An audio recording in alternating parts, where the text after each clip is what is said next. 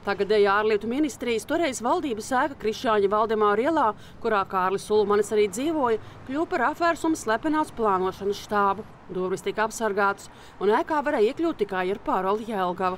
Premjeru uzgaidāmajās telpās atradās apvērsuma militārais štābs, bet politiskais Ulmaņa dzīvoklī 4. stāvā. Zemnieku savienības vadība Kārļa Ulmaņa izskatā, tas ir cilvēks, kurš bija stāvējis pie Latvijas šūpuļa patiešām bija viens no Latvijas Republikas radītājiem, bija viens no Latvijas Republikas iedvesmotājiem, idejas iedvesmotājiem neatkarības kara laikā. Viņa loma neatkarības kara laikā ir nenovērtējama. Nu, viņam radās šī te, uh, nācijas glābēja sajūta, tāda, ka viņam jāglābj valsts no šīs te, viņa uzskatā politiskā hausa. Un, nu, tas ir atrasts dzirdīgs ausis arī viņa paša politiskajā partijā, jo tiek uzskatīts, ka runas un domas par apvērsumu, par labu šeit autoritārai iekārtai. Viņa galvā radušās jau bija nu, kādu, vismaz kādu gadu pirms šī notikuma.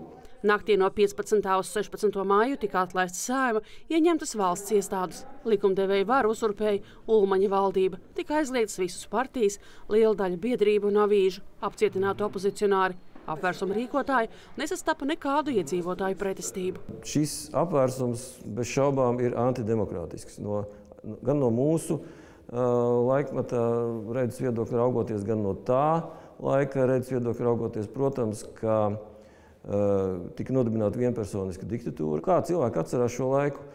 Kā ulmaņa laika, kā uzplaukuma gadus, kā, kā, kā treknos gadus, kā mēs tagad teiktu. Tāpēc, ka uh, saimnieciskā krīze un ekonomiskā krīze visā Eiropā gāja, tā sakot, jau mazumā.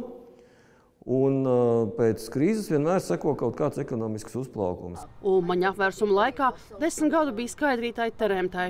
Tagad simt gadu vecā kundze savā garajā mūžā bijusi daudzu vēsturisku notikumu lieciniece. Mūža garu viņai palīdz saglabāt ticība dievam, angļu valodas mācīšana citiem senioriem un vingrošana. Pirms 90 gadiem notikušais apvērsums palicis atmiņā.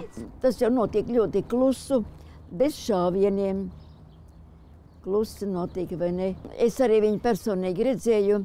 Mēs dzīvojam toreiz Sēsielā. Pie jaunās ģetrūdas baznīcas bija tāds laukumiņš, un tagad viņš ir vēl tagad. Un tur bija tāds soliņš, un mēs sēdējām.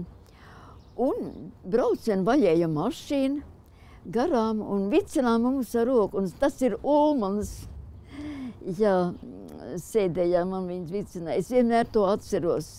1934. gadā no deviņām jaunajām valstīm, kas Centrāla Eiropā un Baltijas jūras reģionā radās pēc Pirmā pasaules kara, demokrātija bija saglabājusies vairs tikai divās - Čehoslovākijā un Somijā. Ulmaņa režīms solīja stabilitāti, un tās vārdā Latvijas pilsoņi izrādījās gatavi daļēji ziedot savu politisko brīvību. Madara Vīcija, Tīvoša Bītskis, Latvijas televīzija.